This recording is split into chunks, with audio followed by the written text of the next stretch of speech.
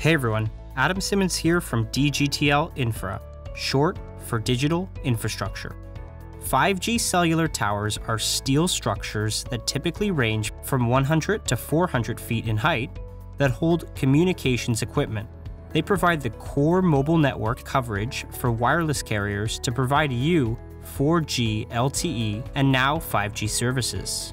But did you know that cellular towers in the United States are largely controlled by three publicly traded companies that you probably have not heard much about?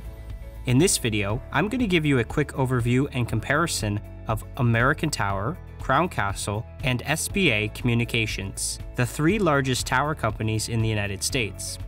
Additionally, we walk you through the equipment that is owned by the tower company versus the equipment that is owned by the carrier, which are companies like Verizon, AT&T, and T-Mobile. After this video, you will understand who is building out the digital infrastructure to support the 5G network that we are using today. So stay tuned and I will break this all down for you. Before I do, be sure to subscribe to the DGTL Infra channel and turn on the notifications so you don't miss my next in-depth video that is coming out soon. Now, let's jump into the video.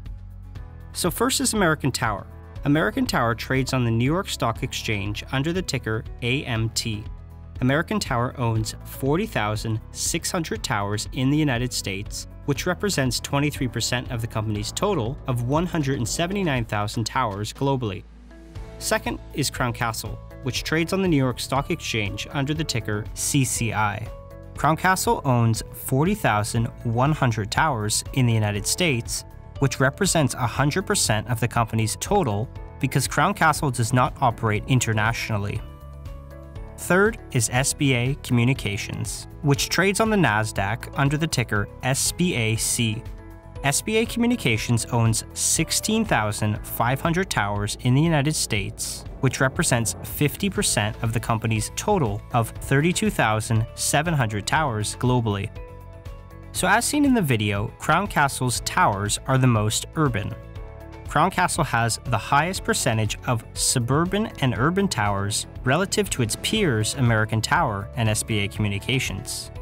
Specifically, 62% of Crown Castle's towers are located in the top 100 cities in the United States, as compared to American Tower at 45% of the top 100 cities and SBA Communications at 43% of the top 100 cities. Examples of these cities being New York City, Los Angeles, Chicago, and Houston. In other words, Crown Castle's towers are located in more urban and suburban environments as opposed to rural environments, which American Tower and SBA Communications are more skewed towards. In terms of countries of operation, American Tower operates in 20 different countries around the world. Notably, the company's six largest markets by number of towers are the United States, India, Brazil, Mexico, Colombia, and Nigeria moving to Crown Castle, which only operates in the United States and has publicly stated that it is currently not interested in expanding internationally.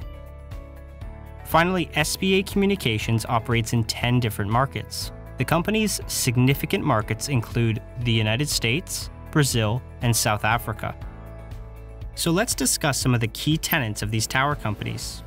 A tower company's customer base is primarily the largest wireless carriers in the countries that they operate in.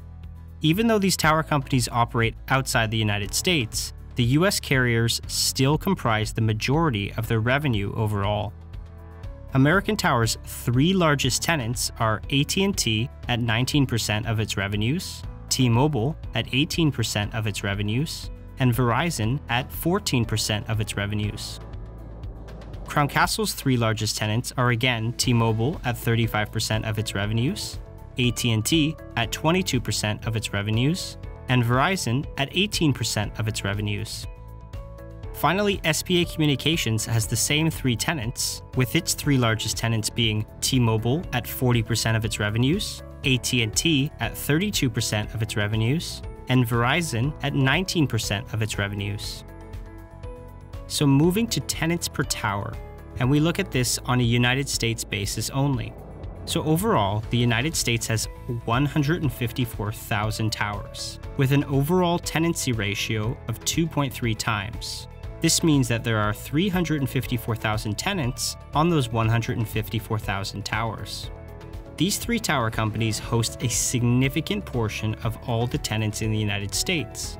Specifically, American Tower has a 2.6 times tenancy ratio, equating to 106,000 tenants on its 40,600 towers in the United States. Crown Castle has a 2.1 times tenancy ratio, equating to 84,000 tenants on its 40,100 towers in the United States. SBA Communications has a 2.1 times tenancy ratio, equating to 35,000 tenants on its 16,500 towers in the United States. So, one thing to note is that with tenancy ratios above two times on average, this means that many of these tower companies have two to three tenants on each of their towers.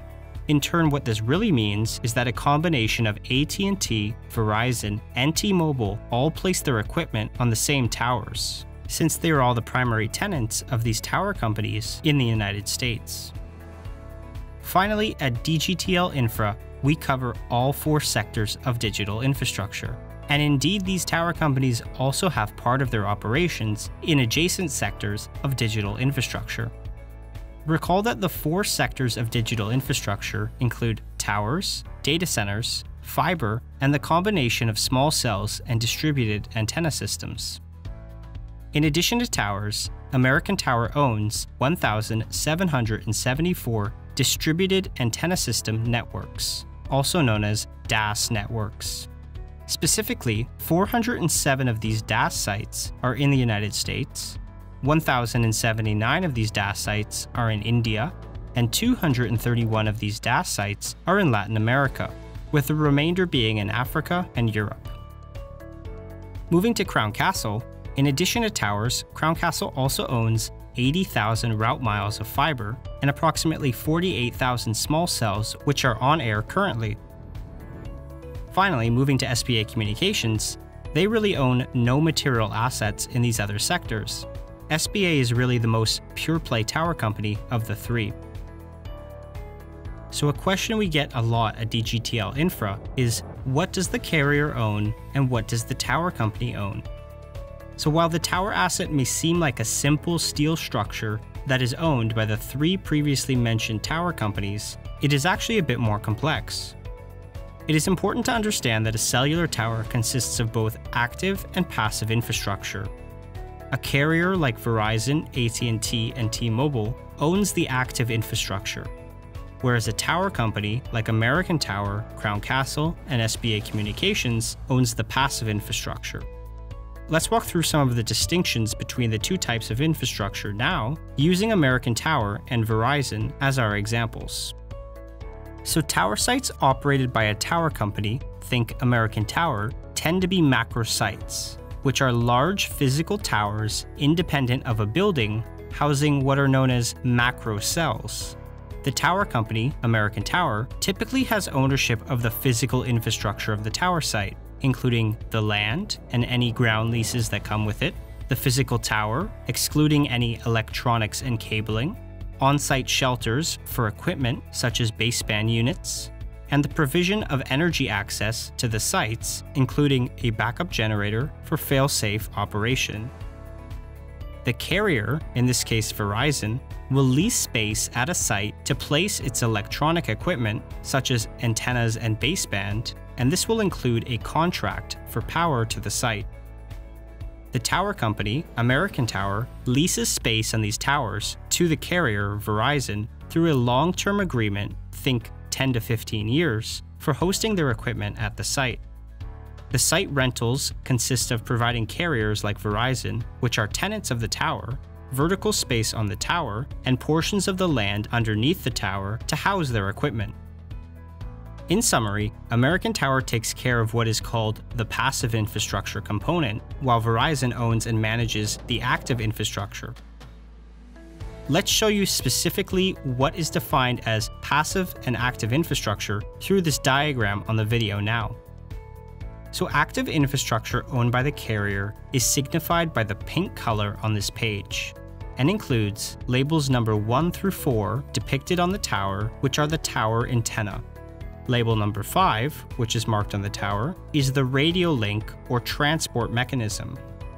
Label number 6 shown on the tower is the feeder, which usually takes the form of coaxial cable. Moving to passive infrastructure, which is owned by the tower company, that is signified by the dark blue color on this page and includes label number 7 depicted on the tower, which is the mast, label number 8 marked on the tower, which are the shelters, label number 9 shown on the tower, which is the generator, and there can often be more than one of these. And finally, label number 10 depicted on the tower, which is the land and ground below the tower. On the right of the video, we have highlighted some more specific examples for both active and passive infrastructure so that you can become more familiar with what precisely constitutes each type of infrastructure. So hopefully you found this video on towers helpful.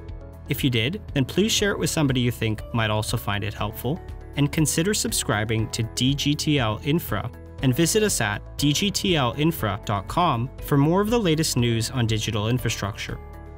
At dgtlinfra.com, we cover the latest developments of American Tower, Crown Castle, and SBA Communications, with articles on topics such as American Tower's recent $3.5 billion purchase of InSite Wireless. So with that, thank you for watching this video. Be sure to like the video and post in the comments telling me which of the three tower companies you are most interested to learn about. Thanks again for watching, and I'll see you in the next video.